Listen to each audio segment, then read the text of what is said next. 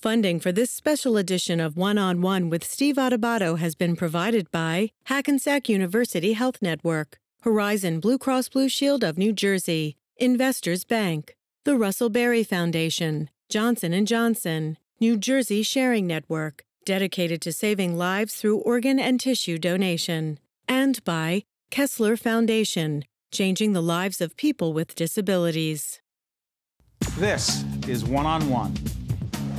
When you first heard that they were doing Charlie Rose and Gayle King, didn't you go, what? People like laughing at others, so I don't mind if the other is me. See, you go right into the character. That's what it is. I'm bringing families together a half an hour each week. Man, I'm doing something special. And so I do feel successful.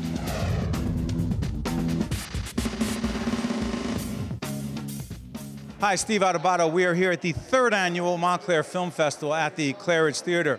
Um, there's a lot of buzz here. There are two films that are being shown. One is about Doc Ellis, a baseball player called No No. It's a documentary, but the film that we're going to be talking to folks about is a documentary called Whitey, the United States of America versus James J. Bulger. That's Whitey Bulger. Tell you, a fascinating guy. This is a guy who um, was alleged to have convicted, uh, had 19 murders he was charged with. He fled Boston in 1994. 16 years he remained at large. The feds were looking for him. He was hiding out. He was on America's most wanted list. The FBI wanted him, but he was also allegedly an FBI informer. So what we were curious about was who exactly would be coming to see this story about this film about Whitey Bulger, and then a little bit later on, we'll be talking to Bob Richmond, who was the cinematographer on this film. So uh, first, let's talk to those who have come to the Clairidge, to the third annual Montclair Film Festival, to come see the film about Whitey, and then we'll meet the guy who took the pictures, the film, to make it all happen. Steve Adubato, we're at the Clairidge Theater. We're about to see Whitey, right? That's right. And tell everyone who you are and why you're here. I'm Julie Surf. I'm a resident of Montclair. This is my family husband, mother, brother. We've been going to as many films as we can, and we really want to see this one because uh, it's a really important crime story in America.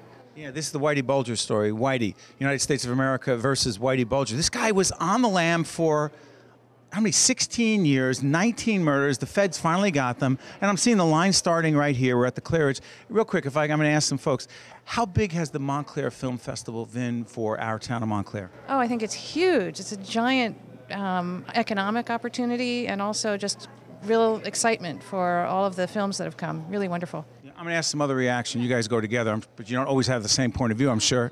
Why whitey? I, I always agree with her. Smart move. They should do a film on that uh, no, I'm a Boston boy, and I and I uh, have followed the Whitey sto- Ford story for a long time. So. Yeah, Whitey was from Boston. Yeah, yeah, yeah he was a, a Boston guy, and uh, Montclair Film Festival is great. It brings the town together. It's a stamp of uh, class for the town uh, in the artistic community, and it's a it's a wonderful innovation.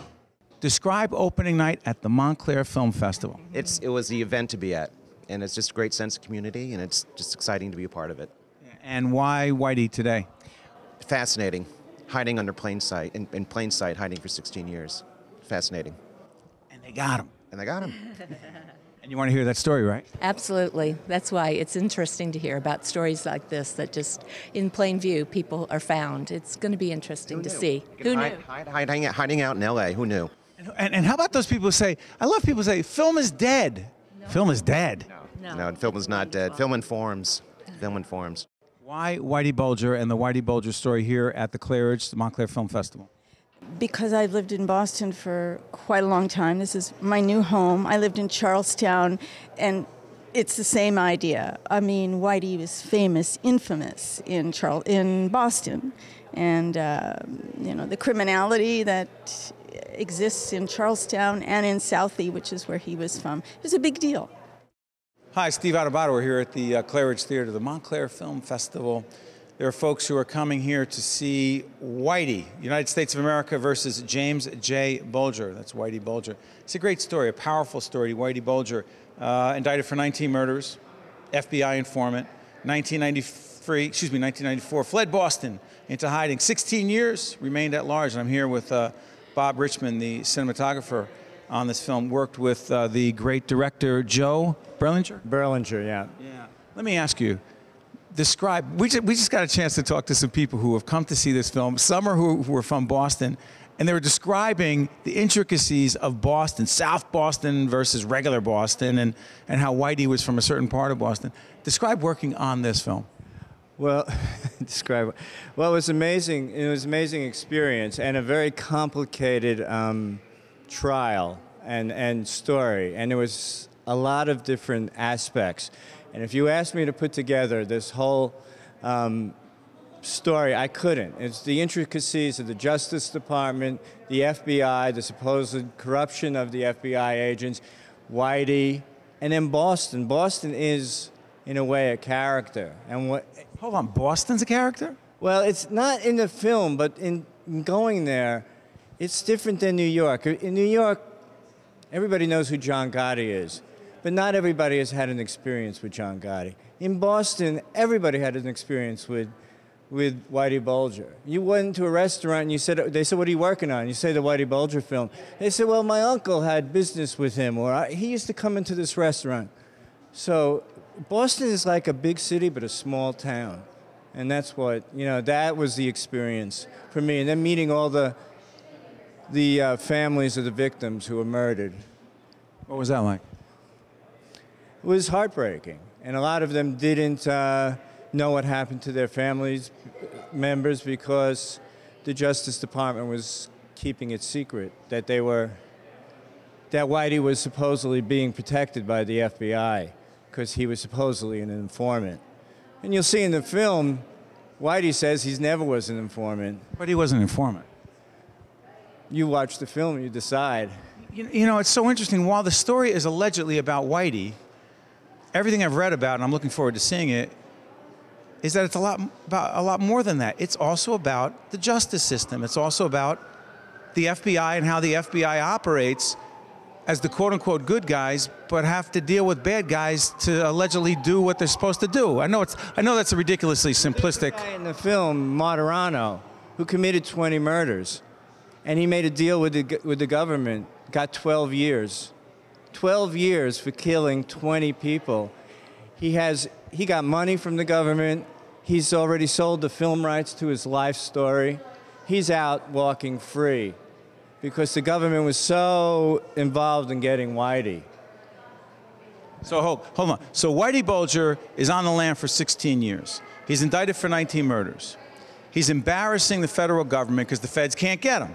And so what happens is they decide he's the guy they have to get. And Whatever they have to do to get him, and if I'm wrong, you'll tell me, they do that. And if they have to cut a deal with someone who has information to get Whitey, then that person who they got information from, potentially you're saying, may get certain treatment from the feds. Is that a poor explanation no, of it? No, that's what happened. And actually, there was a little bit of a, and you'll see in the film, there are two guys who are caught at the same time. Steve Flemmi, yeah. who is Whitey's partner, and Martorano, who's also like Whitey's Luca Brasi in a way.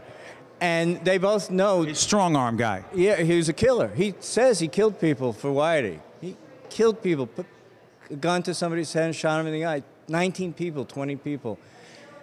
They sort of, oh, and Kevin Weeks, who is a younger guy who is also a killer, who also, Weeks and Flemmi got arrested at the same time.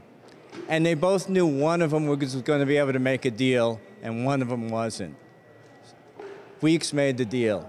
Weeks is out on the street. He's out on the street? Yeah. So's Martorano. And Whitey, what's he facing? Whitey has two, two life sentences. Plus more. I think, yeah. He's, but he's appealing. Whitey claims he had um, immunity from the head of the FBI in Boston immunity for 19 murders? No, Whitey's not wasn't up for 19 murders. I forget how many murders he's up for. So, so, so let me ask you something. It's really a crazy story about the Justice Department and the FBI, and and the whole trial.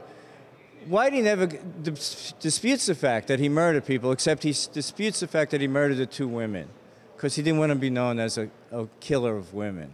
Okay, do, do this for us without giving away too much, if you could, Bob. Um, when they find Whitey, when the, when the feds finally find Whitey, he's an older guy. He's not the Whitey Bulger who was in South Boston, allegedly this crime boss, um, deciding who would live and who would die and making a lot of money, whatever. He's an old guy. 83. 83, walking around town, um, trying to put tuna fish together in cans and hoarding it, and, and, and with toilet paper. I- What, was he doing? Where's he hiding the money? He had a ton of money. He had a huge cache of um, guns. Where? In California. He was living in like in, I think it was Malibu. He wasn't living like he had a lot of money. Well, he was. In fact, I knew somebody who knew the landlord of the building he was living in, and she said that this old guy paid in cash every every month. Was he living high on the hog? He was living well. He had a lot of money. He had his girlfriend. I mean, he kept a low profile, but he was living in Malibu. He was living a few blocks away, supposedly, from the FBI headquarters in in L.A. How'd they get him?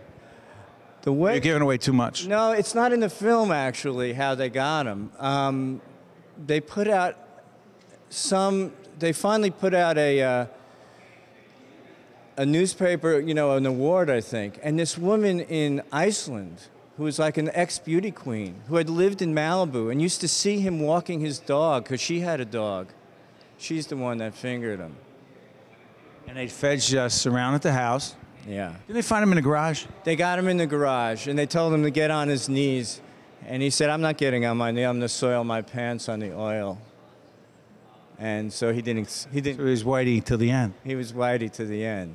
If Let me ask you, uh, why should people see this film, even if they're not into uh, cops and robbers? Well, I think they should see it because they should see how our justice system works, and see what's good and what's bad. And you know, this idea of give, having paid informants, does it work? As someone from Montclair, what would you say about the uh, greatness of the Montclair Film Festival? Oh, it's fantastic. Tom Powers is a great guy. He's done a wonderful job. I think this is going to just get better and better every year. What does it do for filmmakers and folks like yourself who are, play great roles? It's great for, for filmmakers. I mean, a lot of people make films that don't have a huge um, financial, you know, they're not, it's not going to get a huge distribution. Uh, festivals like this give you an opportunity to show your film, maybe sell your film, but more importantly, just to show it and have people see what you've done. You put your heart and soul into these things, and it's important people get to see them. If you would like more information on this program or if you'd like to express an opinion, email us at info at caucusnj.org. Visit us online at oneonone.org. Find us on Facebook at facebook.com slash Steve Adubato, PhD, and follow us on Twitter at Steve Adubato. Steve Adubato, is our honor to have Chuck Workman, Academy Award winner. He presented a film, What is Cinema, right? And you had a talk about it here at the Montclair Film Festival. Describe the film and describe the conversation, Chuck. Yeah, the film was made to uh, talk about other areas of film that is not necessarily mass entertainment, but way that you know filmmakers who actually can work in mass entertainment, but are trying to use make their film more artful, use uh, the same elements that, that anybody would use, but but make the, but make art out of it. For example. For example, Stanley Kubrick, Orson Welles, you know, uh, 2001: A Space Odyssey. Some elements of Martin Scorsese, some elements not of Martin Scorsese. Fellini, uh, and also many um, uh, experimental filmmakers who are basically trying to do poetry with their films. So there are plenty of them, and, and I think it's great if we can look at look at it harder and think about that and think about this amazing opportunity we have with film to make more than just mass entertainment, but to make something that's that that'll stay with us and, and maybe convey something that can't be conveyed any other way. What kind of reaction do you get, Chuck? I mean, there are so many people here at the Montclair Film Festival. I mean, you got 90 plus films, way more than last year, way more than two years ago. There's a tremendous buzz and excitement. But again, what you're, what you just described is, is something more challenging for some filmmakers who just said, "I just want to come and enjoy the film. I don't want to think about film." Is it a bit challenging for some? No, I think that's a problem. I think that's a that's that's a loss that that audience has. Not for my film, uh, certainly, but but for any film. If somebody says, "Oh, I, I work hard all day. I just want to escape," fine, go escape. It's okay with me. But but there's also the some of those same people might want to go to a museum, might want to go and look at art, might want to go and listen to to interesting music or be in an interesting space. Uh, so those same people can get the same out of movies as they can out of all those other art forms. But we so are used to uh, this movies being movies and not what I call cinema, what people call cinema. In other words, not some sort of sort of art form that we, I think we cheat ourselves if we don't if we don't really check that out. Help us understand something. For even for a, an avid moviegoer, but not someone who I would say. I mean, I could sit there and, and describe the film I like, but I'm just gonna. You use cinema and then you say movie, and I have to tell you, I don't know the difference. Well, whether you like it or not has nothing to do with it. Usually, to the audience, to the maker, they want you to like it, just like they want you to like their, you know, their everything they do, including the if they made you eggs in the morning, they would like you to like the eggs. But these are people making things for their own sake, uh, in the, in the same way that other artists are. So the difference is that the there's less melodrama, there's less sentiment. It's a little harder to get to there's a much greater interest in the image, in what we're exactly what we're looking at, so that this shot that we're looking at now, they they would care for. Not that you're not caring for it, but it would be an interesting uh, way in the editing, uh, in all the various things that you can add, which you we're not bringing it and making you. If if I'm the screen and the audience is out there, I'm asking the audience, come a little closer to the screen and watch a little uh, more carefully. And don't go, I won't come all the way over to you. I'm going to ask you to watch.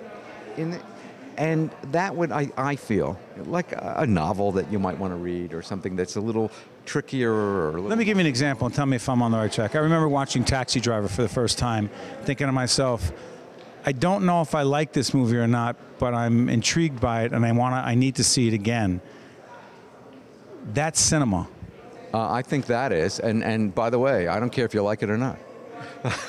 Do you think Scorsese cared whether we liked it or not? Scorsese does care, and I think that Scorsese has now moved to much more uh, uh, popular films than he did before. Even though the, the artistry is amazing, in, you know the way the craftsmanship. Let me put it. But he has lost, I think, a little bit from Taxi Driver and Raging Bull and um, the films that he made earlier, and is making uh, you know, terrific movies, but they're movies, and they're they're basically to get as many asses in the seats as possible. And the Montclair Film Festival has the potential to do what for film and cinema? Montclair Film Festival is the first time I'm here. Uh, is uh, uh, quite an interesting festival. It, there's no not as much screwing up as there is in much festivals. And you see a lot of festivals. I, have been to 150 festivals, so I can tell you uh, a lot about all of them. Uh, and I was telling with the president of the festival that I said that people, all of us who go to a lot of festivals, talk about festivals. And uh, so. Do you really? I would say, oh, absolutely. This one sucks. This one is stupid. This one only care about the, the volunteers. This one doesn't care about the movies. This one is trying to attract Hollywood names. Uh, this one has a nice uh, more than nice. It's a, it, it, it's a very interesting collection of films and filmmakers. It's close enough to New York to get some uh, interesting people. And the choices are, are really good. The program, I know the programmer of the documentaries, for instance, the guy's the top guy, uh, probably. Like Tom Powers? Yeah, Tom is. How, why is that so important? Because there's a lot of junk out there. And, you know, of course, this is what I might say is junk that somebody may else. I, I'm not but on the other hand, they have a good eye for, for what's interesting. They know the filmmakers, they know who's doing something else. They know if you do another film, it may not be as good. They kind of know how to handle that. Uh, so it's, uh, it's just a very interesting way that this uh, place is put together. If you would like more information on this program, or if you'd like to express an opinion, email us at info at caucusnj.org. Visit us online at oneonone.org. Find us on Facebook at facebook.com slash Steve Adubato, PhD, and follow us on Twitter at Steve Adubato. I'm here with Kristen Connolly, who I'm sure you recognize as Christine Gallagher from Netflix's web series House of Cards. You're here at the Montclair Film Festival. Tell us what you were doing tonight. I was participating in a conversation called Homegrown, uh, and we were, you know, talking about acting and uh, and about what it's like growing up in Montclair and, and having a career in the arts. Now, you did grow up in Montclair. You were here with Ben Rosenfield, who we know from Boardwalk Empire. What does it feel like for you to come back here talk to the community who you once were among. You're now in New York, but and to see them look up to you as a role model now. Oh God, I mean, I don't, I wouldn't think of myself as a role model, but I, I, I think it's, you know, Ben and I both are working in a field that people are are interested in, and um, so it's really nice to come back and and talk to people about that experience, and then and also just to meet Ben and talk to him a little bit about the different experiences we've each had as actors. Did you know Ben growing up? No, I'm a little older than Ben, but uh, we just met tonight, and he's terrific. He's he's just a wonderful, lovely guy. You had great rapport and great chemistry together on the stage. But you know, you, you said that people are interested in the career, and it's true. There's a lot of mystique and intrigue about the world of acting. When you're in it, does it feel quite as glamorous?